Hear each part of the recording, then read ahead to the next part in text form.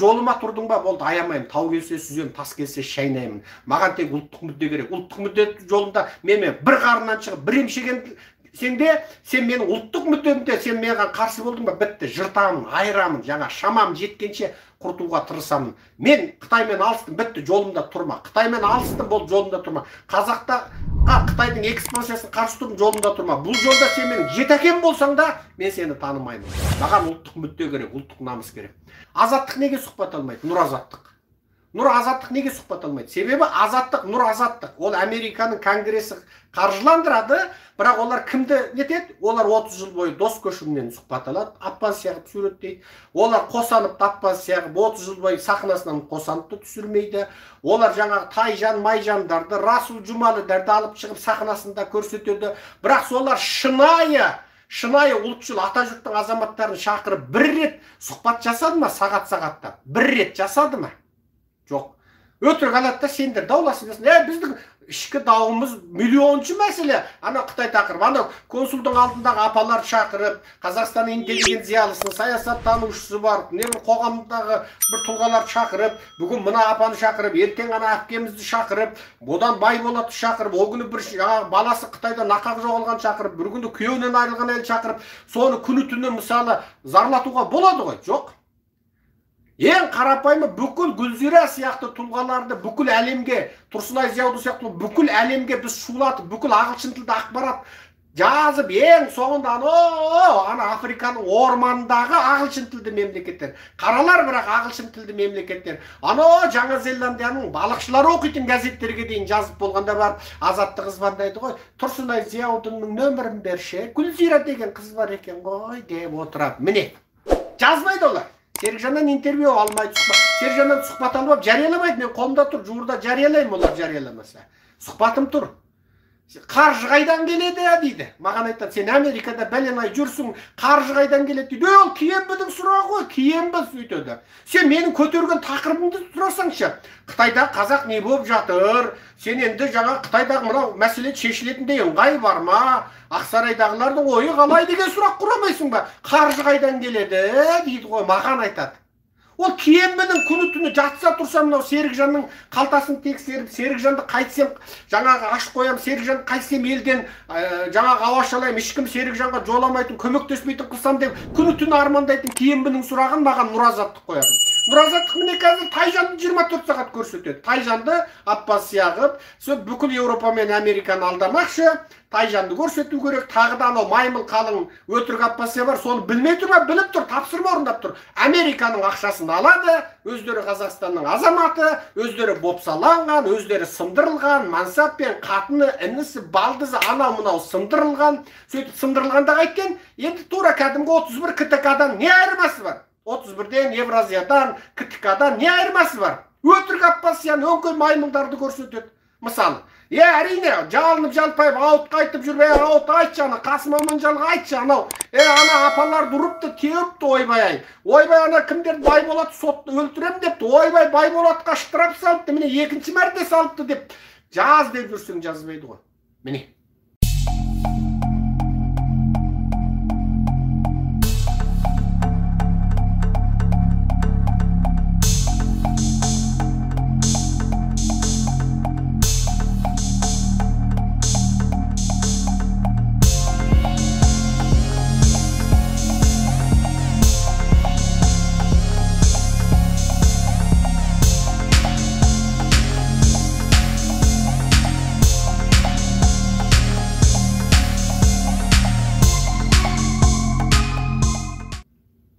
Неге? Олар ана маймылдарды көрсету керек. Маймылдарды. Болды. Бұл сондықтан ол нұр азаттық енді сол нұр азаттық шахановтан бүйтіп барып мысалы жаңағы анау миллион долларлық микрофонын алып барып ана 10 миллион долларға алған камерасын алып барып бүйтіп 10 тонналық көтендерін қозғап жаңағы 20 тонналық еріндерін ашып отырып құрметті ұлы тұлға адамзаттың жаңағы алыбы жер шарын жаңағы әмірменен тыныс алуымен жер шарында жел пайда қылып бір жерінің желі менен теңіздерде толқын тудыратын керемет ұлы тұлға сіздің барлығыңыздан күн шығып күн батып жатыр. Енді сіз айта қойыңызшы анау сұмырай серікжан дегенді неге арыз жаздыңыз? Бұл бірінші сұрақ. Неге сотта куәгер болдыңыз? Бұл екінші сұрақ. Ә, сіз осы барыстарда қандай ойладыңыз деген бір сұрақ қоя алмай отыр ғой. Неге? Себебі бәрі бір ғой қожайындары киімді ғой бәрі нквд кгб ғой қоя алмайды. Бір қазақстандық журналист барып шақанды олар сылтау ойбай шақанып алып жіпті білмейді оның айналасында бір сары қатыны бар көк қатыны бар анау құдияр біләлі бар марқұм қуандық шамахай айтушы еді жаңағы шахановтан басқа ақын жоқ құдияр біләл оның ә, елшісі деп айтатын. Шахановтан басқа ақын жоқ құдияр біләл оның елшісі дейтін. Құдияр дейтін анау ә, зікіршіма бір бәле сопыма ұшады екен ол кісі ер астананы банкротқа өзі ұшады екен бүйтіп отырып түркістанда пайда болады екен. Соны дұр дұр дұр дұр оқып алып алматыда ба өлең жазып отырады екен ана шақановпен чай ішкеннен сосын. Астанаға барып депутаттарға кгб ға отчет беріп бүйтіп отырады екен отырып шымкентте пайда болады екен. Ұшады екен ол кісі өзінің айтуында. Чех па бір бәле болып кетіпті. Анау алты категория бар ғой тариқат мағрифат немене бірдеңке пат дейтін паттардың соны алтыншы категориясына шығыпты деп айтады дейді. Баяғыда бір аудиосы тарап жүрген. Менде чех не, не деуші пір пір пір чех деймін ау пір пір боламын деп. Жарайды ұша берсінші олардың мен сол кеңістік таласпаймын ғой лицензияны да бермеймін. Мен мен неге соттайды мен ал баты шыр шыр етіп анау қытайдың экспансиясына қарсы тұрып жүрмін қазақстан үшін алғанда.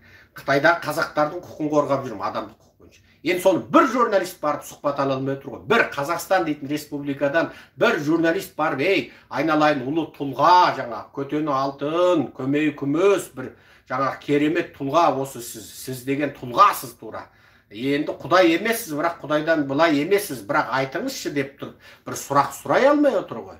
Неге?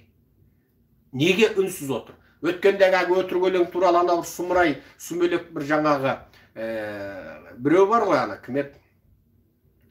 Құрал деген бір сұмырай бар атын ұмытып қаламын сол өзі өзі сайда саны құмда ізі жоқ.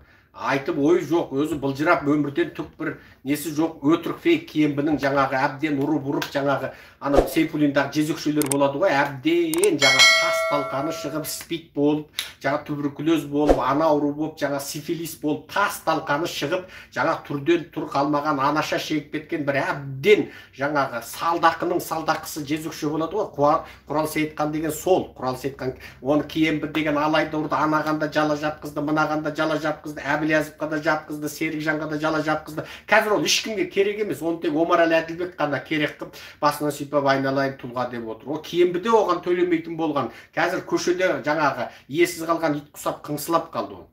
Сол барып сұрады ғой сіз өстіп кешірім сұраған өлең жазды дегенде анау әулие барып айтты ғой бүйтіп иығын бүйтіп жаңағы жыны қуған бақсы ұқсап бүйтіп а жаңағы бірдеңеде бірдеңке немене еді жаңағы бірдеңкеде колбаса бірдеңкеде далбаса деп өлеңін айтып кетті ғой міне.